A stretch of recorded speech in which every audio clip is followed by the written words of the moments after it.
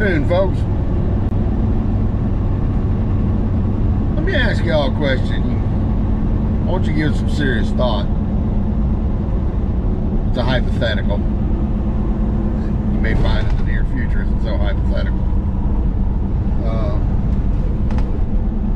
let's say you get off work on Friday and you go into the office to get your check. You're going to go stop, get your cold beer, go on to the house. Well, you go in the office, ain't nobody there. Hence, no paycheck.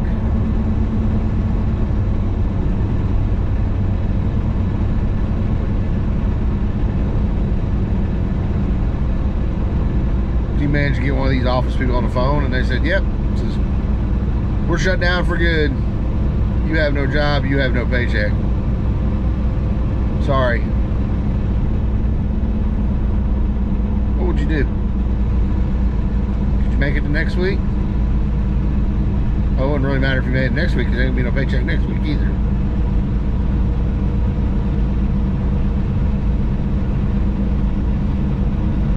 Are you completely dead in the water or you, you got some hope of survival? Because if the answer is you can't make it till next week, brother, you got problems.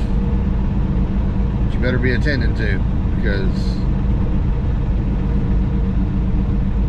the way this economy's going and this world's going right now, it's not going to be real forgiving to those kind of problems. People got so used to they get in financial trouble and there'll be a church or a charity or or the government or somebody standing there to uh, hand them some food stamps or give them some food or pay their electric bill or whatever.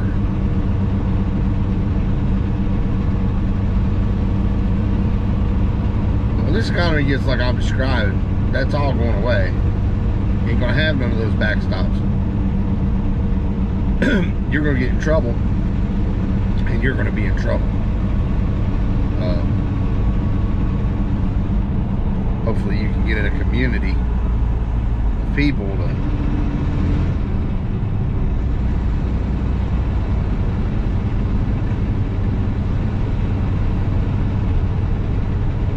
help you soften those blows.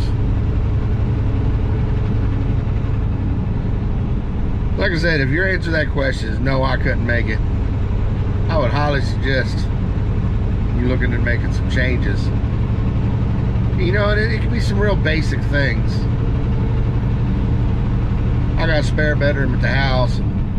Back in the corner of that bedroom, I got one of them little four-tier Rubbermaid shells, about as tall as I am. Maybe four foot wide, four by two, tall as I am. And I've got it reasonably full of, uh, I've got some canned goods on it. I've got, I've got 25 pound of pinto beans. Probably got about that much rice.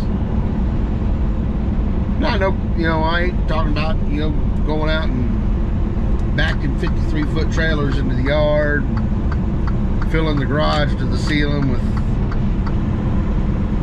with rice and beans, MREs, bullets, and everything else. and just say, I want to think about just maybe taking a couple little steps. Uh,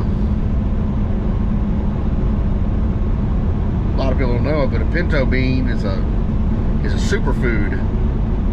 Pinto beans supply you with just about all the minerals and vitamins you need to healthily survive. Uh,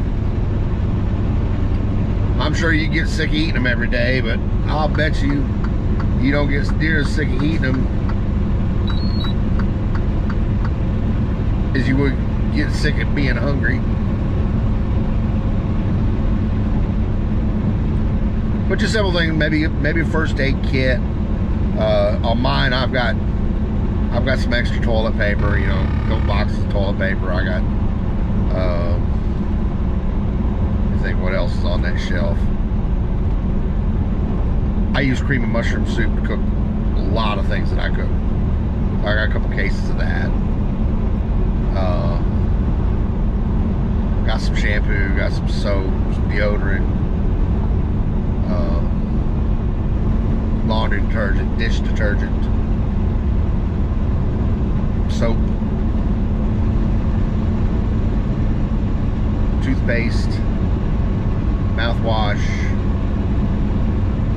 uh, hydrogen peroxide,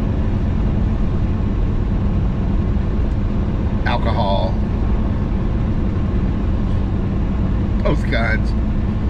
Uh, and what I do with it is I, I, you know, when I need a tube of toothpaste, I go in there and I've got a little clipboard hangs beside it. I grab me a tube of toothpaste, and then next time I'm in the store, I'll buy another bag again. You know, so if I run out of toothpaste or toilet paper or dish detergent, I ain't got to run right to the store right then. I've got it. Um, they're just simple, like just one corner of one room. But really, I probably got enough food there for me.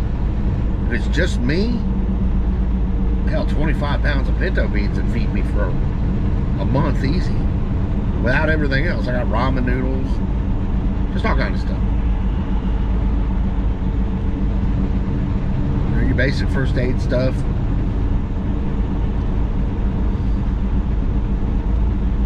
Uh,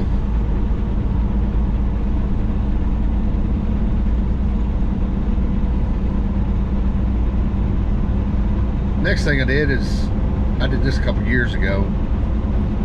Kind of seen us heading down this road. I went and got a I got a savings account at a at a credit union, completely separate from my bank. Because if I do a, I'm, I'm not a very disciplined person, and if I was to put a savings account in the same bank as my checking account, savings account would just become an extension of my checking account. And then I just set it up on PayPal. Uh, well, no, on PayPal, I use the, the service at the bank where it moves $25 a week every Friday from my checking account over to my savings account in the other bank. And doing that, I've built up a decent little nest egg. I mean, not, I ain't fixing to retire and run off to Tahiti, but uh,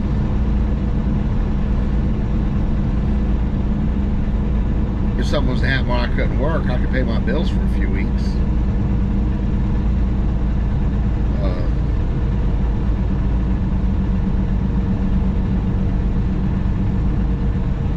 plus, it's nice having cash like that on the side once you get it saved up, you know. Because I can tell you, when this economy turns south, there's going to be deals to be had. The people that didn't prepare, we're going to have to unload some of these toys they got. These Sea-Doos and RVs and boats. And Eighth car and motorcycles, all that good stuff. Razors. Um, it'd be nice to have that cash sitting there. You snatch up some deals. You know, it's nothing wrong with that. And uh,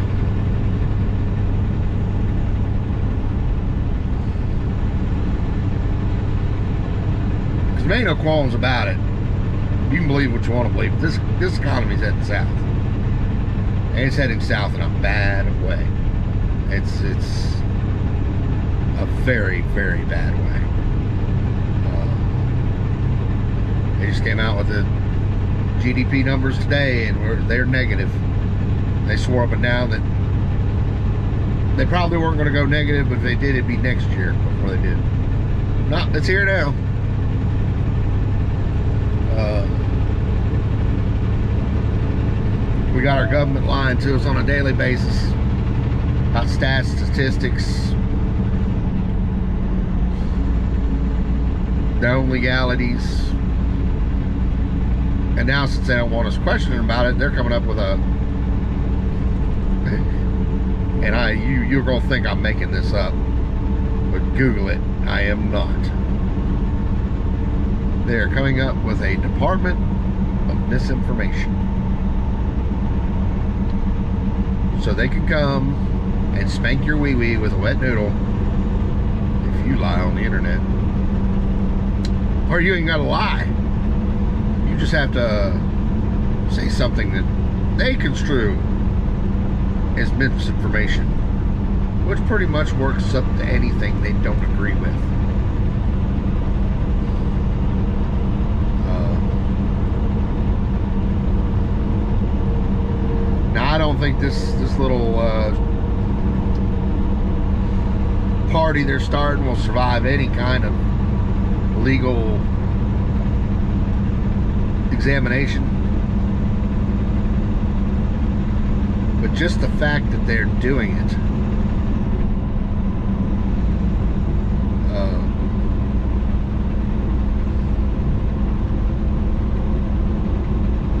you got people out there now arguing in the public square that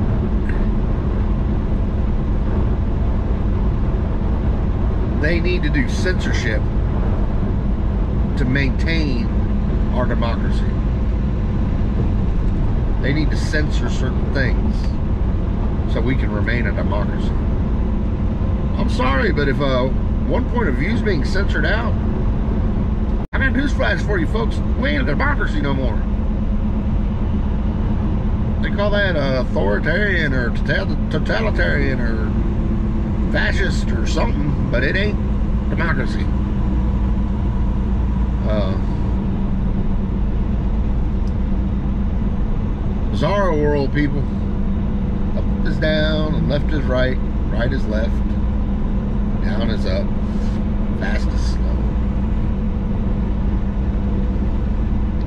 I think we're going to come out of it in a better place. It's going to be painful because we're going to have to flush this crap out of our system.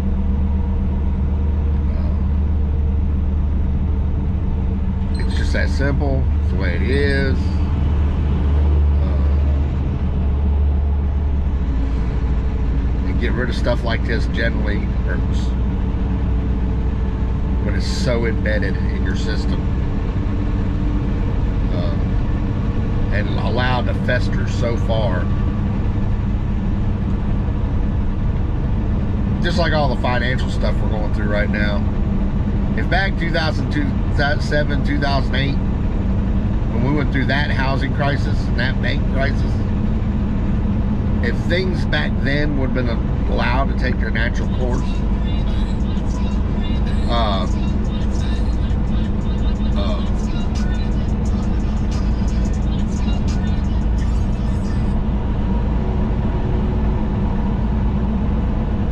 things would be allowed to take their basic course, then we wouldn't be in the shape we're in today. But they kicked the can down the road, and they kept kicking the can down the road, and they've been kicking the can down the road since about 91, 92. Uh, it's allowed some rich people to get very rich.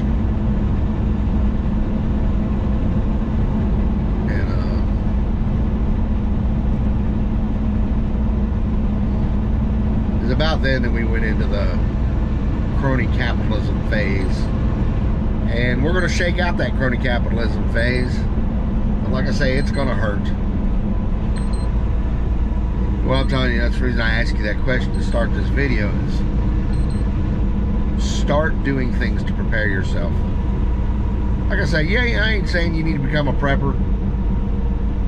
You don't need to go out and buy you a Humvee have 800 jerry cans full of, of uh, fuel on it. You don't need 10,000 gallon water tank in your backyard.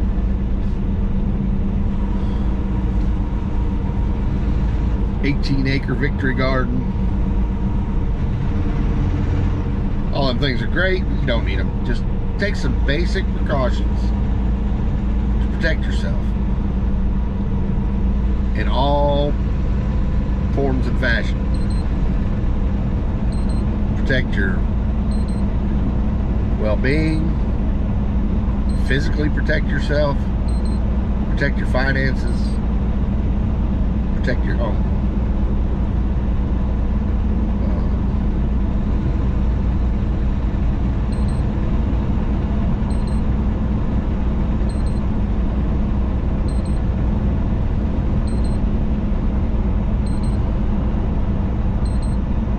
Things are going to get better. Thing is, right now we're we're we're still sliding downhill. It's gonna be a while before we hit bottom.